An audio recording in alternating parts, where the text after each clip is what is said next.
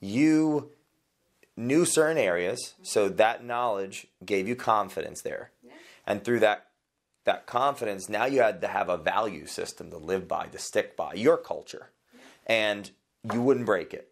I so you looked for ways to Work figure within it out. And then that's where the referral came in.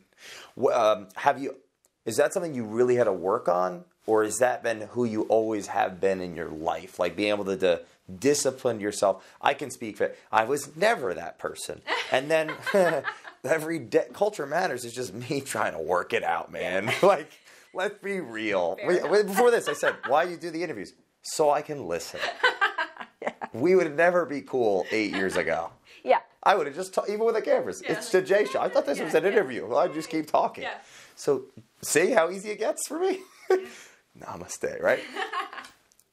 was that something you worked on, or have you been always able to discipline yourself in that reverse? I've in that been regard? very good at self discipline my whole life. So I shared with you earlier before the camera started rolling, I was a ballerina.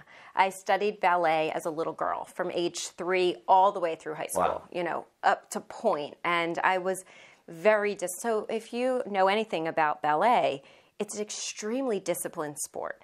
I mean, you have to know the steps. It's in a different language. It's in French. All, you know, Well, I didn't know that. it is, yeah. So each of the positions, everything that you're doing, every move is one in a different language, and two, um, it builds upon itself, right? So you can't do this move before you do this one, right? And you have to be a master at this before you can, like going on pointe, for example. You know, when you go to see the ballet, if you see the ballet in Philadelphia, I never have, but maybe after this.